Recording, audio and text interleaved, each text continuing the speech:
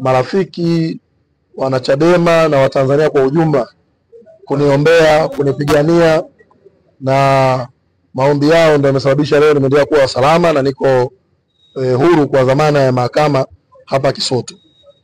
E, ujumbe wangu nitatafuta siku nyingine niweke ujumbe mkubwa, lakini leo na ujumbe mdogo.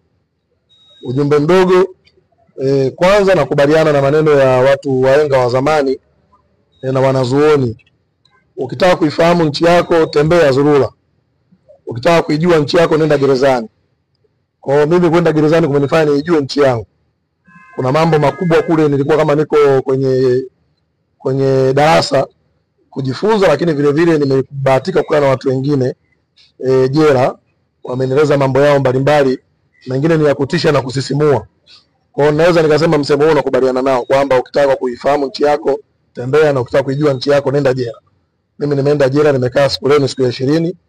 E, naijua nchi yangu kwa maana e, kukaa kwangu gerezani siku ishirini kumenipa mambo mengi ambayo nitayatumia na yatanufaisha Watanzania wengine katika mambo, lakini vile vile kutoka kwangu jela nime nimetoa nimetoa ofa ya kusaidia kesi ishirini kwa watu ishirini tofauti, kwa maana kuna watu ishirini nitawagaia wakili na nitalipa gharama za mawakili ambao wako gereza la Segerea wanakabiliwa na mashtaka mbalimbali, lakini ambayo mengine hayana dhamana, lakini kwa kuwasikiliza na kujiridhisha kwangu wanahitaji msaada wa mawakili kwa jopo kama nilonalo.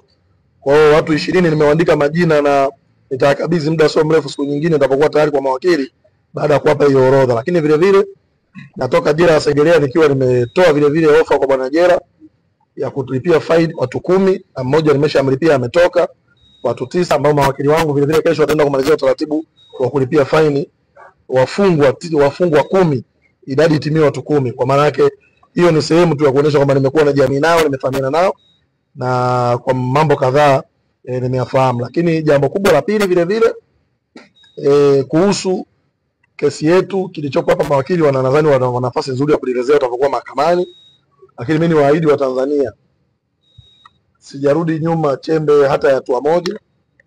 Ndo nimejazwa usongo na hasira ya kupambana dhidi ya kupambania haki za watu, hasa haki ya kuishi. Kwenye haki hii sito compromise kama kufungwa kwangu au kuuawa kwangu kutakusababisha watu wengine wawe salama, mimi Boniface Jacob ofaia nitaitoa. Kwa hiyo sina mazingira yote ya kucompromise, sitorudi nyuma. Niwaambie Watanzania, nime sana sana nimejazwa hasira kuendelea kupambania haki za Watanzania, lakini kubwa zaidi ya watu kuishi, ili swala la watu kutekwa, kupotea na kuokotwa wameuawa, e, kero hii tuimalize, yani tumalizane nayo. Kwa kama itakuwa imeisha, maana yake nitakuwa kama, lakini kama itaendelea, nitarajie pukushani za mahakamani, jela, vurugu vurugu zitaendelea kuwepo nyingi tu.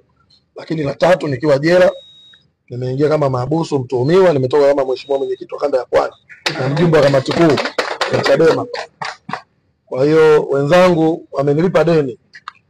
Kazi iliyonipeleka gerezani ilikuwa ni ya utumishi uliotukuka wa kusacrifice maisha yangu, na wenzangu waliokuwa nje, wanachadema wenzangu wamelipa deni, lakini sio tu kulipa deni, pia wamenikopesha imani